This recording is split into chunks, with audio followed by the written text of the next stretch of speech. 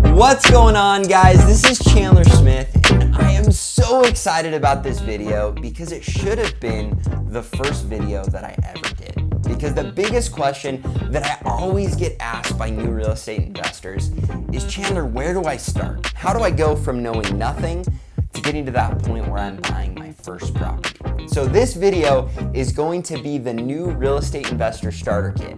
So in 10 minutes, I'm going to give you everything you need to know to go from knowing nothing to getting to the point where you are ready to pull the trigger on that first property. So with that being said, let's jump into it.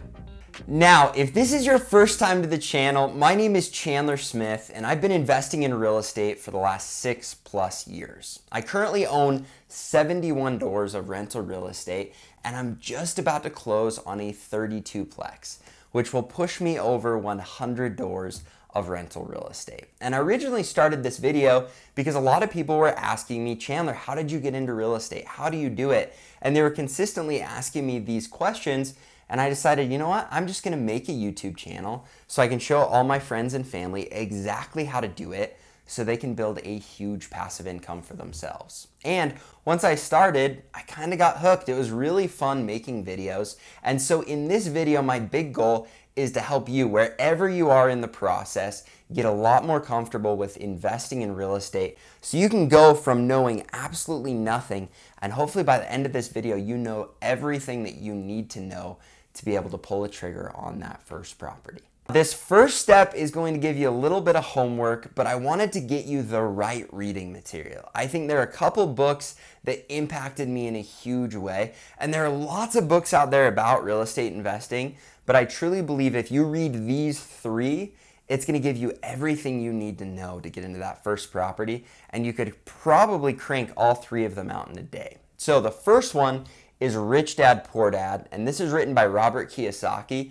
This one's really going to teach you a lot of basic principles about investing in real estate, dealing with money, and it's going to be huge for getting your mind right for getting into investing in real estate. The next one is Rental Property Investing by Brandon Turner. Now, Brandon is the man. If you read any of his books, you're going to be set, but I think this one is perfect for before getting into investing in real estate to give you all of the information you need to know down to the details of finding and buying a property. The last one was probably my favorite before I started buying properties, and that is the ABCs of real estate investing. Honestly, this was probably my favorite book that I read before I had purchased a property because it just broke everything down so simply and really gave me that extra confidence and push to be able to pull the trigger on that first property. So those are my three that I think you've got to read, and I'll make sure that I put the links in the description for all three of those books. Now, this second step might seem silly because a lot of times we talk negatively about social media, but the next step is you need to go onto Instagram and Facebook and YouTube, and you need to follow everyone that you can that has been successful investing in real estate. A couple big suggestions I would make is meet Kevin, Graham Stephan. Bigger Pockets is a huge one. I think you should follow me on Instagram and on YouTube. And I know you might think I'm making a pitch for myself, but the reality is the more people that you are following and connecting with and seeing their feed of the properties they're buying, how they're working out deals, how they're getting financing, this is going to play a huge role in getting your mind right and helping you daily acquire information that you need. All of us have this time during our day where our mind goes to mush and we pull out our phone and we hop on to social media. And if you can get to a place where even when your mind is mush, you're taking in good information about investing in real estate, you're going to get to a place where you're extremely comfortable pulling the trigger on a piece of real estate a lot more quickly because your mind is in the right place and you've acquired the proper information to get to that point. This is a perfect time for you to smash that like button below and make sure that you subscribe to the channel because my only goal with this channel is helping you to get into investing in real estate and creating a huge passive income for yourself. So just remember to subscribe. All right, step number three is probably one of the biggest steps, if not the biggest, and that is that you've got to learn your market. And a lot of people are like, well, Chandler, how do I do that? Who do I connect with? There are some quick connections you can make that are free connections that are going to give you all the information that you need. So the first connection you need to make is with a realtor. Now, I would suggest finding a realtor that has already invested in real estate or finding a realtor that knows nothing, that is super hungry and willing to show you every property you would ever want to see because they don't have anything else better to do. But whatever you do, find a realtor and recognize that they can show you as many properties as you want to see and they're going to be doing it for free. Just make sure when you do finally buy that first property that you use that realtor because they went through that learning experience with you and they invested a ton of time. But what's so cool about realtors is they're going to go show you properties and it doesn't cost anything. And make sure when you're in these properties, you ask what they're renting for. You check them out, you see what's good, you see what's bad. Another way to do this for free is to hop on to the listings of everything for rent and just start calling management companies, calling owners and say, "Hey, I want to come look at this property. I'm thinking about renting it." Now, you might not actually be thinking about renting it, and if you don't want to do this, that's up to you. But I have found huge value in getting into my market and calling multiple different management companies, getting inside properties that have already rented at a certain amount so I can see what they're able to pull for what kind of property they're pulling it in when it comes to rents. And so those are two quick ways for you to get into your market and understand it better. The other thing you can do is hop on to rentometer.com and that'll give you some pretty close estimates of what things rent for. The only problem is you're not seeing the property because a two bedroom in one part of town that's really nice compared to a two bedroom apartment in a crappy part of town that's not really nice, they're gonna rent for two different prices. So get into your market, ask your realtor, call around, and you're gonna be able to understand your market so that when you find a good deal, you're actually gonna know it because you know what it can rent for. Step number four is find a mentor. But here's the deal if you try to jump to step number four without doing the first three steps, you're going to be in a situation where no mentor is going to want to take you on because you have no idea what you're doing. You've got to get that basic knowledge of your market and that basic understanding of how to invest in real estate so that you can at least impress the mentor a little bit to say, wow, this kid's put in his time. He knows what he's talking about. It will be an engaging conversation because he at least understands something about investing in real estate. So why not? I could help mentor you. It'll be fun to take you from nothing to getting into that first property and you already have that basic understanding. So let's do it. So please don't go and try and find a mentor when you know nothing because that's going to burn that bridge so quickly and it really just shows your laziness to where you might not ever get to interact with that person and have it be a positive interaction again because you burnt that bridge. So put in your time and understand what you can before finding a mentor. Now, I have a ton of people reach out to me on YouTube, on Facebook, and on Instagram that are saying, Chandler, please, would you be our mentor? And so I want you to know I'm flattered that you would think of me and that you want to have that interaction. The only problem is, ever since I started this YouTube channel, I get bombarded almost daily with multiple people saying, Chandler, will you mentor me? Will you give me advice? Will you help me? And as much as I love helping people, it's reached the point where I can't keep up with everyone that's asking for help. However, if you do decide to come and work for me selling pest control door to door at Aptive, then I will give you free mentorship. So everyone that's come and worked for me and done well, I've been more than willing to give free mentorship and help them with anything that they need. And so if you do want to apply to come work for us, you can go to www.elitesummersales.com. Now, I know there are a lot of you out there that are saying, Chandler, I'm too old for that job, or I don't want to do it, or I don't want to relocate. And here's what I would tell you if you really want me to be your mentor, I have started a mentorship program that you can go in and you can sign up for at www.chandlerdavidsmith.com. And I will work with you one on one and be your mentor. However, I do charge an hourly wage. And if you ask me, I probably wouldn't suggest that. Now, that doesn't mean I can't be awesome to help you.